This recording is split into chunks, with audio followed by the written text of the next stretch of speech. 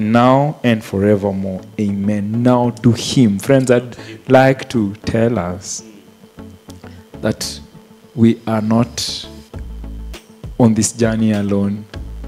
The Bible will say in the book of Timothy that we have an anchor, a sure anchor that if we commit to him, he is able to sustain us to the end.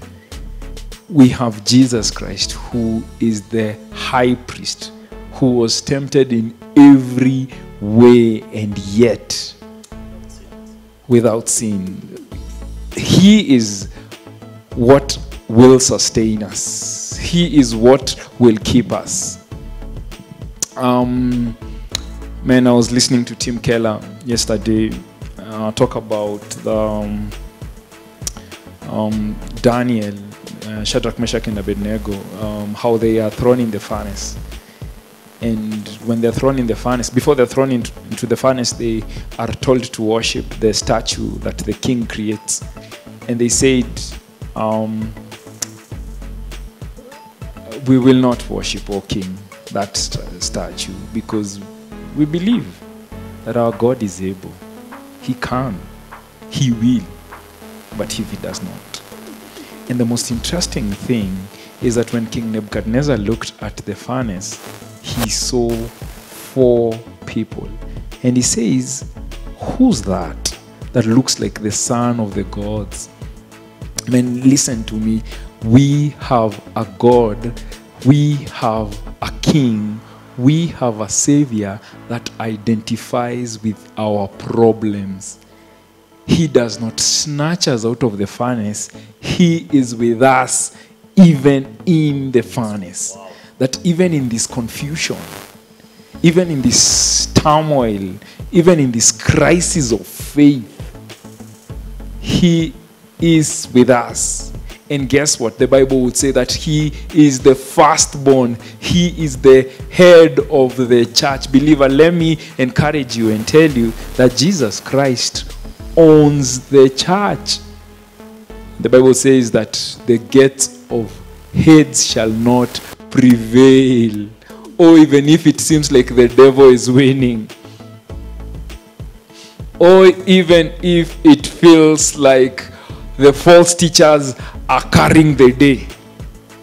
We have a master who cares for us, who says he will sustain us.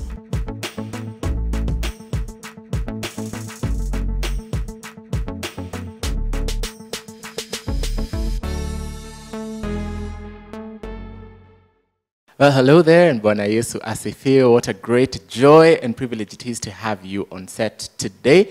My name is Brian Mwashigadi. Welcome back to Harvest Conversations. It's been a while since we saw you, not really, but we are so glad to be with you yet one more time. We are getting into another um, exciting, exciting season. We just recently, we are actually in the month of love, you know, just love, yeah, the heart, you know, feeling good or whatever.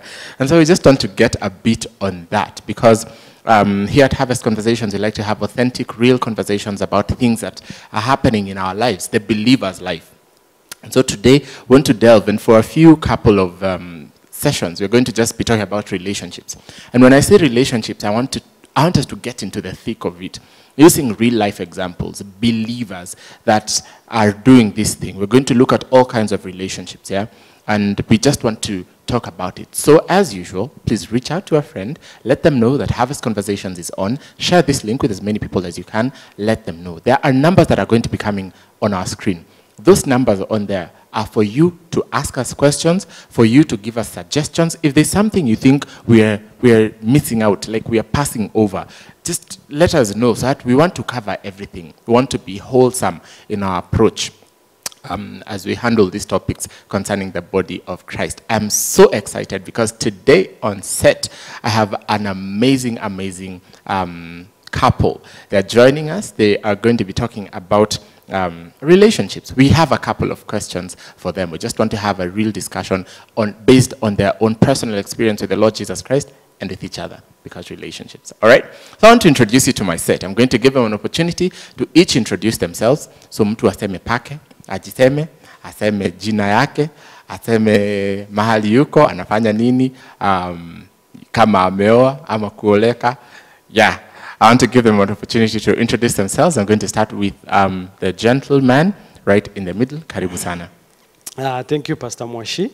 Uh, it's a great privilege to be here today and just uh, give an experience uh, of how our journey has been in marriage. My name is Edward Mulwa. I am born again, and I thank God, I bless God to be here.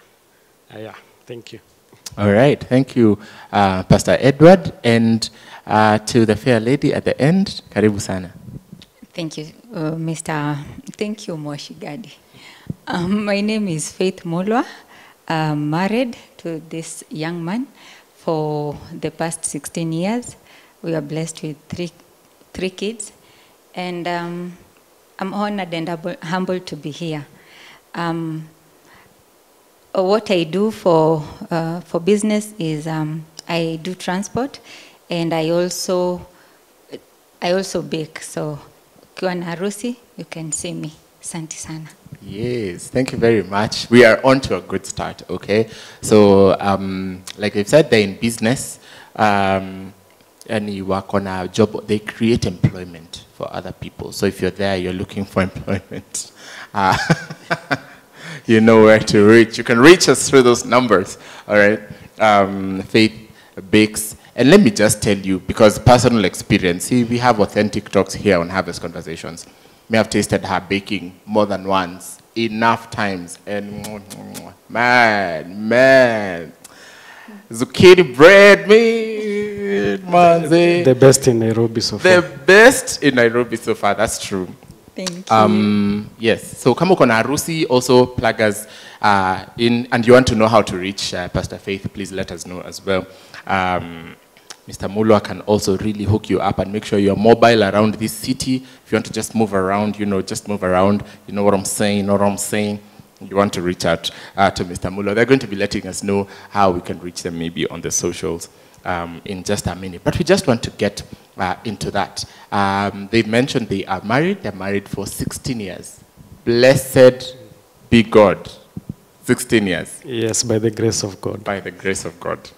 16 years. So I want us to just get onto that. How did you guys meet? Let's just jump right into it. I know there's usually like two versions of a story. Maybe you guys have one version, but let's hear it. How did you guys meet? Uh, well, Pastor Mwashigadi, it was way back in 1998 uh, when we were in high school. So there's a can, this can you come a girl, and uh, everyone was asking, "Hey, hey, I saw your sister," and I'm like, "I have no sister in this school." Eh? So that is what prompted that we. I, I, I, I, I see this girl that has come, and everyone is saying she's my sister. You went to the same school. Yes, she joined later when I was there. Aha. Yes. All right. So that's your version. That's my version. But Though we met in a CU meeting. Now, meeting the first day we met, it was in a CU meeting. All right. Yeah, thank, uh, thank God for that. So you met you met her in stories before you met her in person, in the presence, the presence of God. In the presence of God. Come on here. All right, Pastor Faith, is that your story? Um, actually, I, I also received such comments uh, in school. I would be asked, "Is Edward your brother?" And I would be like, "No, I don't have a brother in this school." But the time that I remember I saw him, it was in a CU meeting, and he was the DJ playing the latest songs. Come on now, come on now. playing the latest songs uh, in those years, kina Kirk Franklin, Ron Kenoly, right? Yeah. How Uh, what? it was uh, the Stomp and uh, Yeah. Revolution, you know. Yeah. So, as I was sitting um, at the back, I purposed in my heart to go and tell him that he's playing good music. So that was the first meeting we had with him. Wow. Let me just tell you, DJs bwana amewakumbuka. Zamu yenu imefika. It is time. Oh my gosh, that's so interesting. I didn't know, I've known Muller for a long time, and I didn't know he used to be a DJ. Yeah, I used to be a DJ way back in high school. Way back. Oh, ya kujaribu lakini not professionally. Ah, okay. Ya kujaribu. Umeretire sasa. Uh, so watu wanatafuta watu ma DJ wa harusi wa sekta. Hiyo season ilipita. Okay. Uh, ile ya Yes. cassettes, unakumbuka Ah, la, unazungusha la, la, la, la. cassette. Sa- hiyo. Hiyo hiyo wakati ilikuwa divine setup tukutane. Come on to the divine setup in this place. Come, come on. Yes, please. I love it. I love it. So, uh, you guys meet at the CU, you mentioned the CU, anacheza pale kinanda chake Mungu. Um, do you think if you guys were not born again, but you were still in the same school, do you think you guys would have met? Do you think your paths would have crossed? Yeah, I think you know God. God works in mysterious ways, right? Uh, because at the end of the day, we I still uh, two, I think two or three years later, I still realized we come from the same place, uh, back in Kibwezi. So I think one way or another, maybe our paths still would have crossed. Yes. Interesting. So who approached the other? I'd say I was the one who approached him because I purposed in my heart to go and tell him the wonderful job he was doing. And uh, if you can remember well, it was when we were discussing it, uh, we came to realize that we come from the same place. I told you I'm from Kibwezi. You say, oh, by the way, we bought a land in Kibwezi. So it was that same day. Yeah, for me, I was a bit shy. I was a bit timid. So I was serving the Lord. Me, Eh, na lugha na mistari. I only knew the word na masomo ya shule. Mandugu wa kiroho katika Bwana, Bwana ametukumbuka. Amen. Bwana, ay, let me tell you, you just serve the Lord with gladness. If there's a lesson, hmm, I hear, I hear a lesson there. Just serve the Lord with gladness. The Lord shall remember you. He shall raise up a faith. He sure will. Wow, so interesting. All right, so um, how, how did the courtship begin? How did you guys become like come together? Did you start going out in high school, or did that come much later? Um, well, in high school, we, were, we became best of friends. Uh, but it was on and off, nothing much. Uh, after high school, then um, now we became friends. It was interesting because every time uh, our youth group in church used to go to Arboretum to pray, somehow their group also used to go to Arboretum to pray. So like three or four times. So we could leave the groups, we walk to town as we talk, and then that's how we, um, for like a period of three years, eh? so that's how we were just good friends. Then in 2002, that's when now we started courtship for around now four years up to 2005. So cumulatively about eight years. of- yes, of eight, eight, friend, eight years of being good friends. Wow. Yeah. Okay, let me throw this question to Faith just as a follow up. Um, what was going through your mind through this period of the four years of friendship? Were you like, umsiana ni your time? Were you thinking, should I see, are you seeing other people at that time? What was going through your mind? Um, it's interesting. There was a time, uh, there was another gentleman who was pursuing me. And uh, since we were friends, I came to Ed and asked him, uh, uh, and asked him, are we friends or more than friends? And he said, we were just friends. So I gave the other guy an opportunity. then later, when we started being like friends, because we could talk, one thing I loved about Edward was he was uh, committed to church. And the church that we used to go in school, I didn't like it because I didn't have many friends there. So the other church, the Catholic church, is where my my guys were. So that's the reason I would go to that church and even have that guy. So um, after, after being now friends, it was like I would tell him what I was going through with this relationship, and he would also tell me what he was going through with the relationship he had. So in that, uh, in that way, we, it, it came a time where we got dumped or we dumped the other guys, and then we continued on with our friendship. Yes. All right, let me just um, ask another question from something you mentioned. So you guys had other relationships even while you guys were friends, like um, mlikuwa tu marafiki, walikuwa kwa relationship, walikuwa kwa relationship, lakini you guys were still friends. Uh, yes, that I can confirm. And you know, uh, okay, those days people were a bit serious, if I can use that term. It, it was either leading to marriage or not. So there were no trisex sana. You know, it's just uh, ile once you go into something, you commit yourself, and if it's not working, it's not working. So you don't waste at each other's time. Yeah, so it was, a, it was that clear. But one thing, uh, Faith was a good friend all along. I mean, we used to be open to each other, uh, the challenges that we would go through in the other relationships and all that. Because, I mean, she was the last person by the way I thought I would marry, to be very honest. Would you say um, that in the relationship right now, uh, with the experience that you guys have, would you say it is, a, it is an important thing for, even if you're in a relationship, would you say it is an important thing for you to still have other, to still have other friends? Of course, not a, a relationship. Like I'm in a relationship with somebody. Is it healthy or necessary for me to still keep other friendships, um, just general friendships? Would you advise on that?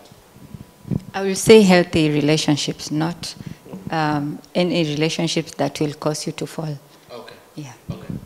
Yeah, I would also think so because you see, both of us we were serving actively in our youth groups. At uh, our church, I was the youth chairman, I think. Yeah, I was the youth chairman, and I was also teaching Sunday school. So you see, you can't avoid people because ministry is about people.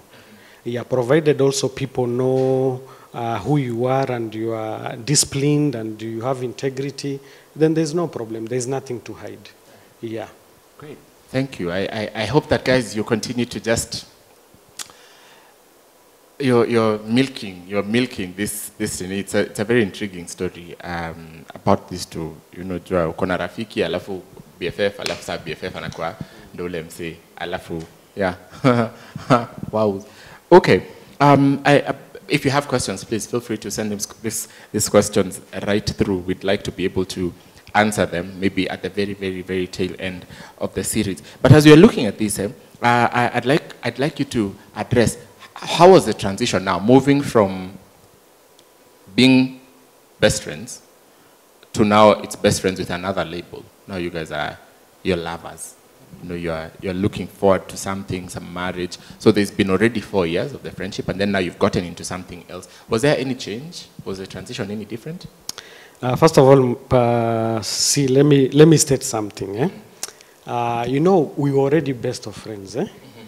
So I knew what she wanted. By then, she wanted a mzungu. so I knew I'm disqualified. Did you say then. mzungu? Yeah, yeah. yeah. but the- so by all means, I knew I'm not a mzungu. Hata nikijiblicha aje. So me, I'm disqualified. Eh? But I think one day I sat to myself and thought, um, and my mother talked, and she said, "By the way, you know what? I, I, I like Faith a lot. I love that girl." So I think that's when it hit me like, uh, by the way, you may be you might be having a treasure here, and you are not. So me, I wrote a letter. Those days there were no phones. It was purely barua, and you, I, I could write my heart out. So me, I told you, I told her, if the mzungu doesn't work, me, I'm there. I'll be your mzungu. And actually, those were the, the correct the words that he used. I'll be your mzungu. Listen to me, guys. We are giving you premium content here. Bi- Uko na mistari. Usi- Usijidharau mwa- mwana mwanangu, usijidharau. Maana maana ya on account of the, the, the skin tone, the color on your skin, you know the Lord is able to change the perception of color in the eyes of your lap. Come on here. with God, with God, all things are possible. all the I love it. Okay, so um, sasa umekuwa mzungu wake. How, how was, was, was there any difference uh, now that the label has changed? Was there any difference between how you guys used to relate? Mm, No, no, mm, no. Yeah, because I think we had come to a point where um, our conversations were deep enough. So the transition was a bit smooth because the parents knew us, uh, both uh, her parents and also my parents, because uh, in fact the, the dad was a pastor. Uh, he passed on and was a very good friend of mine. And the moment he knew that um, someone who is committed to church, I think we clicked a lot. Yes. And so ali- aliniongezea mapointi sana pale. Yes. Mm. May the Lord do that for you viewers in Jesus' name. Um, I, I want to ask, would you say um, then friendship is like im- important or paramount? Like if, if you are to place friendship and attraction, what, what, will, what is weighing more in a relationship? What should weigh more, in other words? Um, each one has its own degree. But you see, uh, from Amzungu, the friendship eh, we had, eh, it also made her consider because kind of when you were friends, you, you better understand this person because you look maybe beyond their flaws. You are genuine, you're authentic in the way you relate. And that brings a, bring, a big difference, you know. Because once you are friends, I mean, at times even you don't know what to love. But that friendship keeps you going. That friendship makes you feel like, hey, huyu rafiki yangu si nimem- nimemhata, I need to call that person, you know? Yes. Wow. I always say, I always tell him, before he was my husband, he was my friend. So even when we are going through issues or there are challenges, I always go back to talk to my friend, not that husband, but a friend. So it makes things easy when you're talking about them. All right.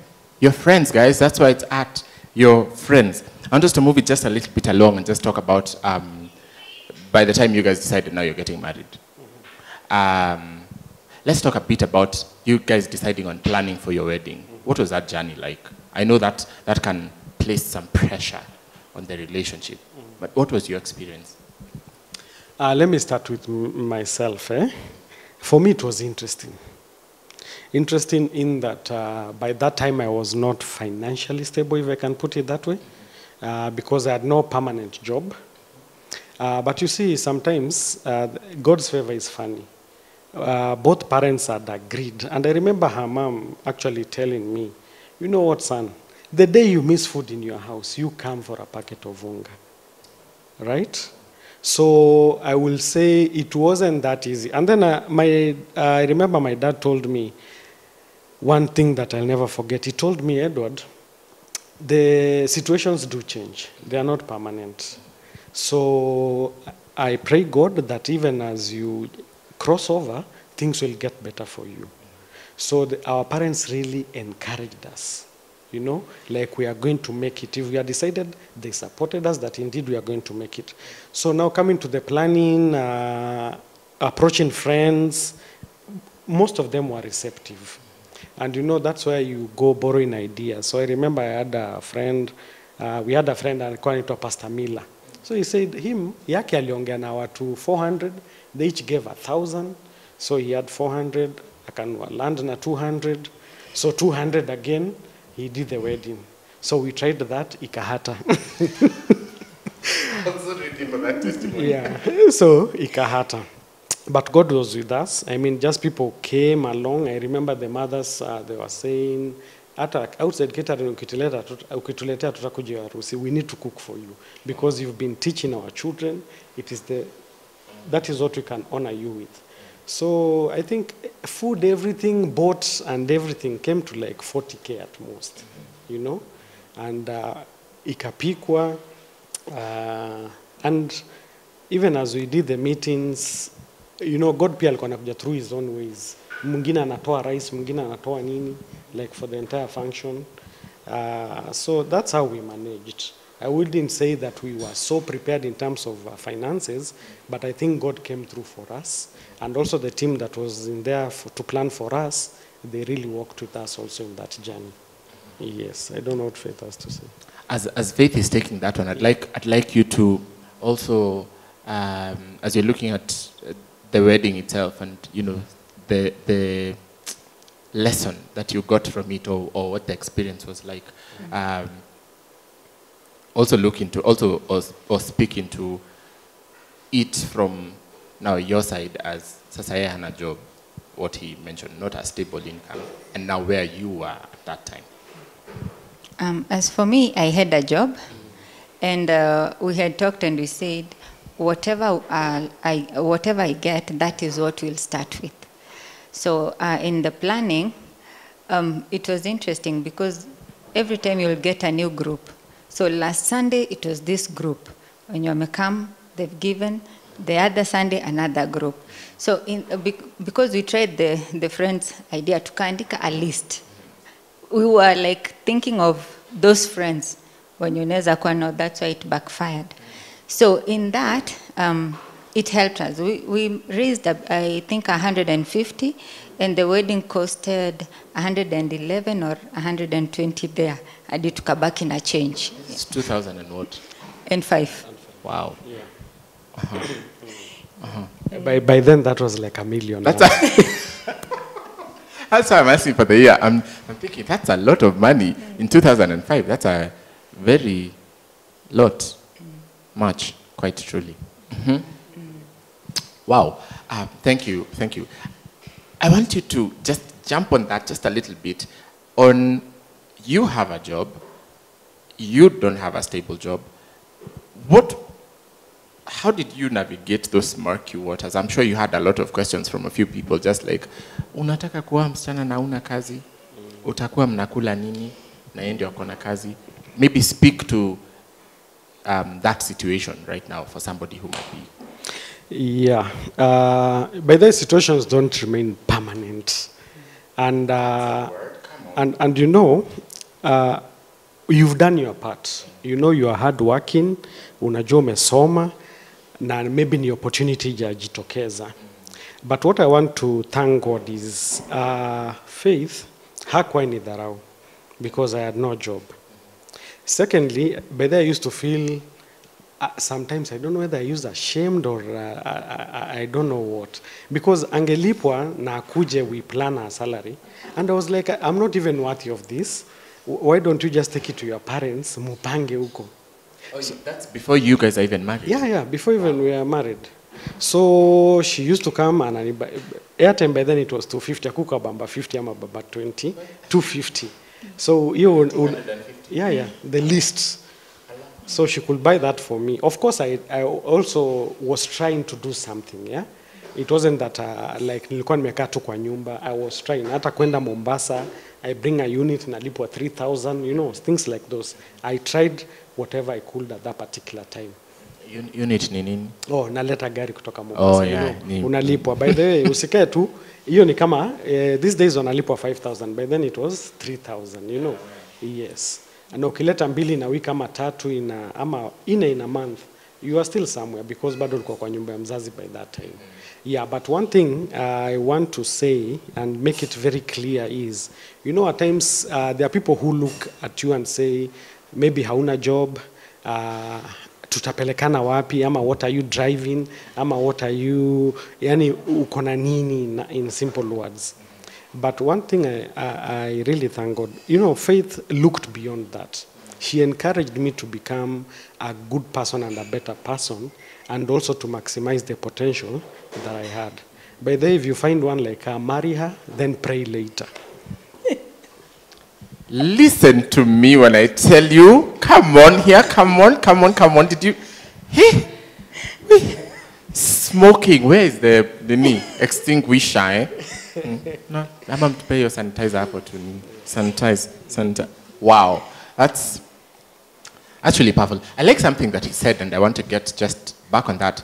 That just because you're not working does not mean that now you're just seated in the house yes you're just you can find something that's within your your area your passion because for you cars have always been somewhere in the neighborhood yes so you just found some you reached for what is around you an area of passion and, and not only cars. I use uh, by the way I've done uh, networking and uh, also hardware. So I used to go repair computers. I used to go do some local area networks. You know, such like. But now vile uji- unaanza kushika pesa biashara unaona let me stick now to this one eh? So just diversify Yeah, diversify. mahali pesa inapatikana kwa hivyo niki, nikiwa na nikisikia ya kupandisha simiti kutoka ground floor kwa mjengo na niko na nini nifanye hiyo By the way, Pasi, I did that. wow. Mimi nime merchandise. Tulikuwa natembea kutoka Mombasa Road all the way. Uh, you pita huko Mukuru, unakuja kutoka industrial area, unakuja mpaka town. So si ati you know God ana rewarding the effort of your hands. And uh, also we, and I was passionate about what I was doing. All right? Yeah, so usikae tu pale. Just do something ile kidogo naweza and then let God multiply that. And in due time hata wewe utajikuta mali huko wana expect. Yes, because hauwezi kaa pale pale. Trust me. wow. Yes. Faith ulikuwa unaona hiyo nini hiyo effort Was that one of the things you saw? Yes, I did. Wow.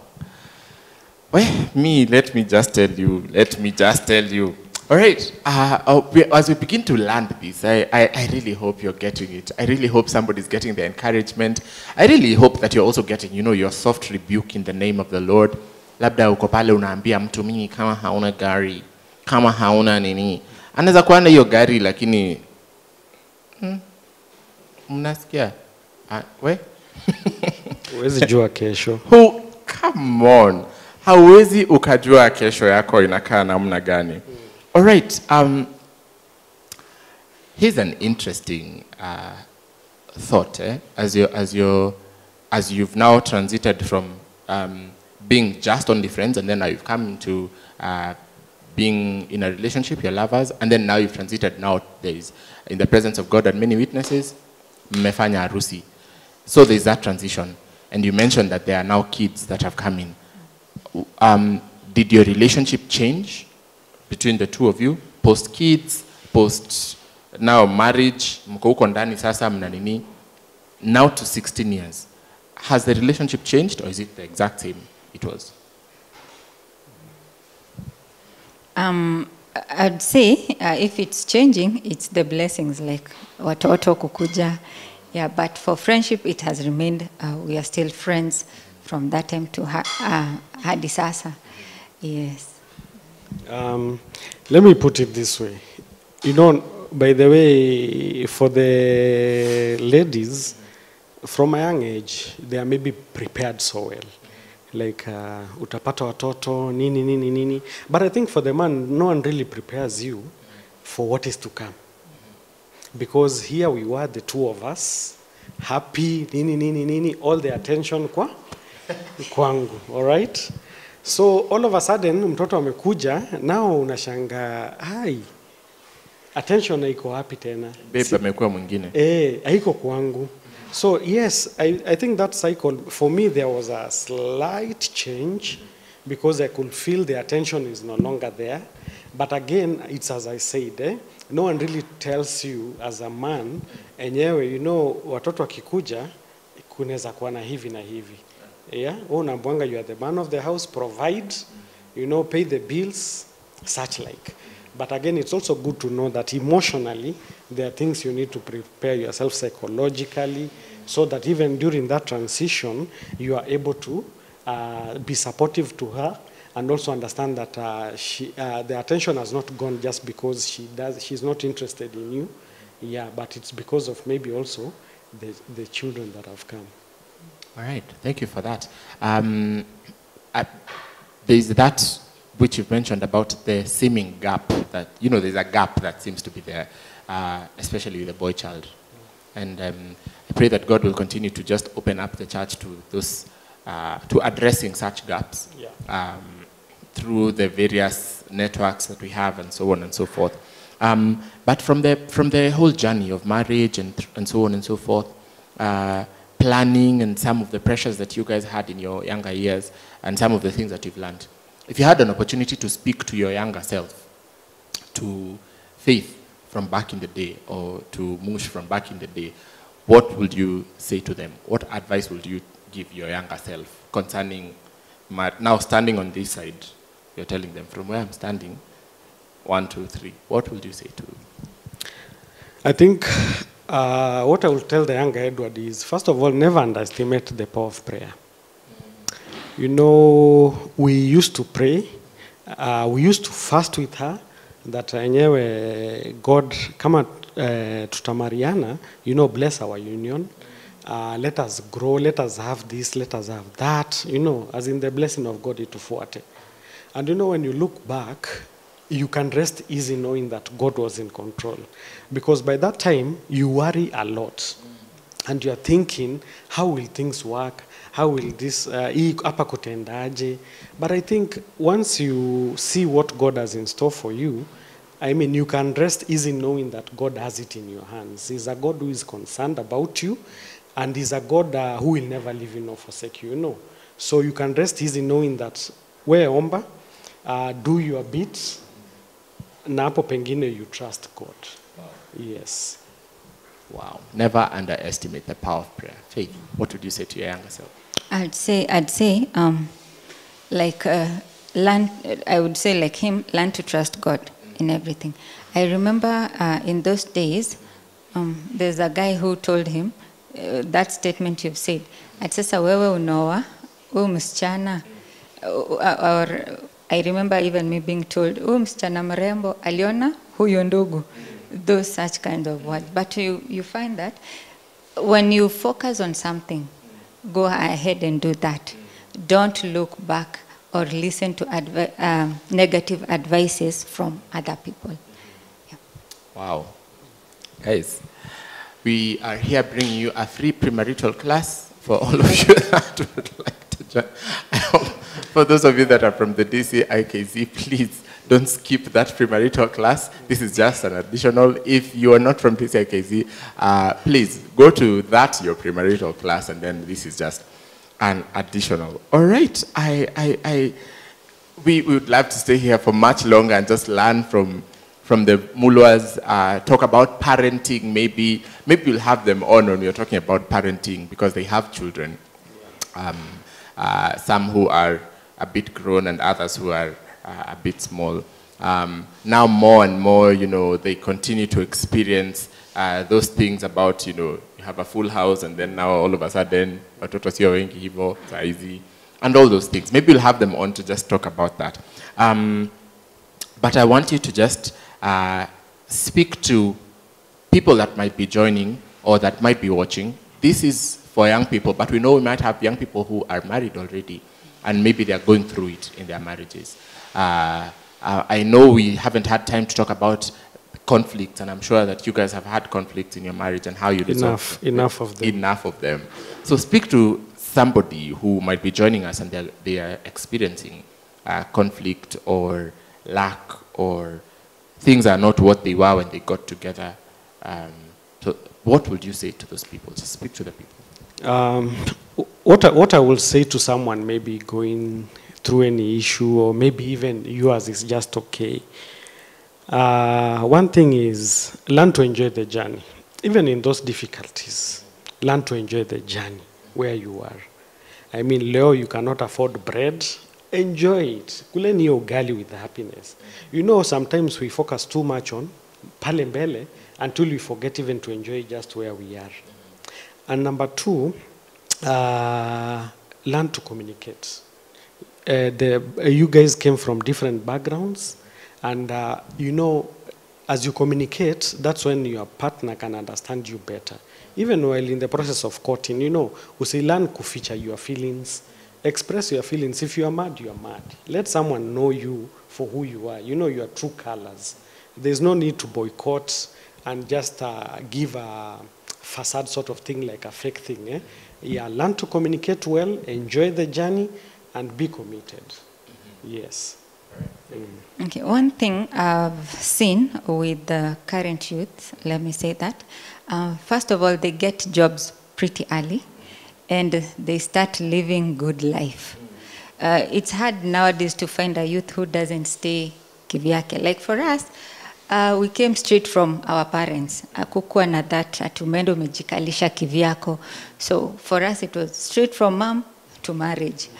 Okay, now uh, what I'm saying about these youths, it's like when they get into marriage, and expect that good life she or he was living, iendelee. And now you have someone else who has, who, who has been raised differently, and you want to make your own statements because you are like, when I, when I wake up, I do go to work and do this and that. So hapa a husband amekuja aniambia nimpikie breakfast. Me, you find that someone would say, uh, in those days when I didn't want to eat, I would sleep and hapiki mzee. So they start, inaanza conflict inaanza even before kids come. Yeah. Hey, let me just tell you, I'm, I'm, I'm, I'm so glad. All right, there's some heavy things. Are you, are you guys on that? Are you guys some heavy things? Thank you so much, um, Pastor Edward. Uh, the two of them are foodies. I know that they love food. You had uh, Faith Bakes, Mulwa cooks. I've been to his house a couple of times. I've had breakfast. Unajua ukienda breakfast ya nyama. Nyama pana tu kula buffalo na chai. nakula nyama. Eh? so, if you guys were to describe your relationship using food, using a meal, if you were to describe a relationship, your relationship uh, right now using a meal, what would the meal be? Um, you, you know, we're in the fasting period. I'm not sensitive to food right now. Um, uh, but one thing I like, eh, I usually like the way a fruitcake is done. Fruitcake. Yes. Okay. Uh, you know, it's infused for months behind the scenes.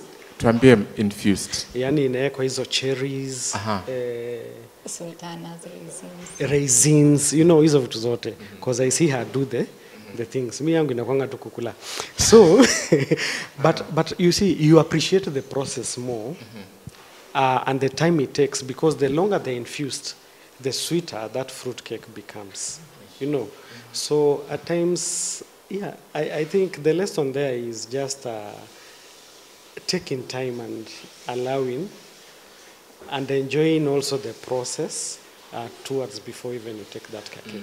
Yani appreciating the process rather. Yeah. Fruitcake. Yeah. Faith, do you agree or do you want to give us a different meal? I agree, but I also have a different Yes. opinion. uh, for me, it's bread. When you're making bread, it has like so many steps. Mm-hmm. First of all, the yeast has to be alive. Mm-hmm. Ndio, i- That is step one. Mm-hmm. Then step step two, there's the putting in the flour, and then kuna hiyo you beat, you knead it, then you let it rise. And rising, it will take like another hour or so. Mm. After that, again, you come and punch it down. And, and again, put it in tins for it again to proof. Ndio sasa uweke kwa oven.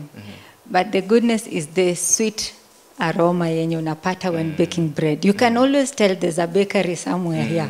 So that, uh, th that's what I would uh, describe uh, the relationship wow. Wow. yeah. Let me just tell you. Hapana hapa unasema ni githeri. Ina ni ye hata imepigwa pigwa hivi ni mokimo. uh, bread, the rising, the yeast is alive, nga infused. It's so rich. It's also rich. I'm so hungry all of a sudden. We are still fasting. But thank you so much. It's been a joy to have you, the Mulwas, on set. I had with me Pastor Edward Mulwa and Pastor Faith Mulwa. It's so good to be with them yet one more time. If you'd love to have them back on set, please let us know. We would love to have them back. But please let us know in the comments if you have questions to, uh, for them or questions you think they would answer. If you maybe have something, you know, along the lines and you didn't get it, like please reach out to us. Let us know. We'll find a way to have them answer those questions um, after all this is said and done. But thank you for hanging with us. That's all the time we have for today. Remember to keep your eyes peeled on our next sessions. We're going to do this every once in a while. We'll have a couple come and join us and just make our journey rich because that's one of the things. It's a small um, dent in the whole wall of marriage. We want to make sure that we are building um, marriages that can last, that can stand the test of time, because it is God's idea, and God's idea can never die, it can never fail. All right, thank you for being with us. The Lord bless you and keep you. Thank you, Pastor Edward. Thank you so much for Pastor inviting us. for Thank being you with for us. We us. loved being with you. From all of us and the team that's behind the scenes, hard at work, making it possible, want to say thank you so much. Lord do you good and see you next time. God bless.